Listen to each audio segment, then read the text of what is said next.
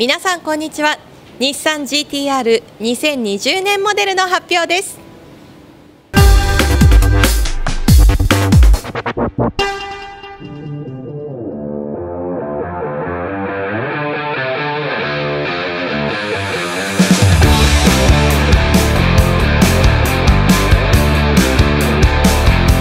ここ日産クロッシングで行われた発表会会場では日産 GTR ニスモ2020年モデルとともに1969年の初登場から50周年を記念した特別な日産 GTR50th アニバーサリーも展示されています。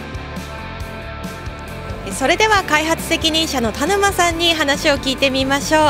えー、田沼さん50年間にわたって愛され続けている日産 GTR まずは日産として伝えたい思いどのようなものでしょうか、はい、我々あの開発チームも毎年毎年、まあ、GTR を進化させるために日々努力を積み重ねています。GTR にとってやっぱり難しいところはモデルイヤーごとに研ぎ澄まされたパッケージングをリスタートして積み上げていくとそういったことを愚直に繰り返している、まあ、そういった思いが実際ご体感いただけると我々としても大変嬉しく思います。えそしてここえ銀座日産クロッシングで今回アンベールされました日産 GTR ニスモ2020年モデル。どんなところが特徴でしょうか？GTR のニスモモデルといえばあのその存在意義は速さにあると思います。その運動性能をさらに高めるために今回エンジンボディシャシまた空力性能にわたって全てにおいて手を加えています。またそれらはレーシングフィールドで活躍するニスモのレーシングチームとコラボレーションを行いましてこの開発に生かしております。まずパワートレインではターボチャージャーを新規に開発してまいりました。これはニスモの GT3 レーシングテクノロジーを生かしております。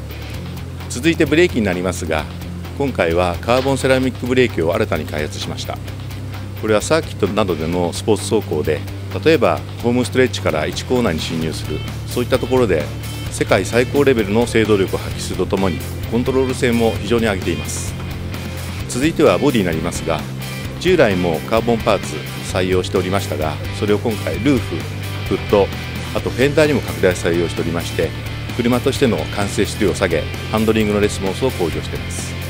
最後に空力性能になりますがフェンダーにアウトレットを持っています。これによって空気抵抗を増やさずにダウンフォースを向上させるとこれも GT3 で培ってきたレーシングテクノロジーのノウハウを生かしております。はい。そして今回は合わせて50周年記念モデルも発表されました。えこちらはどのような車になりますか、はい、初代箱スカ GTR が60年代後半から70年代初頭において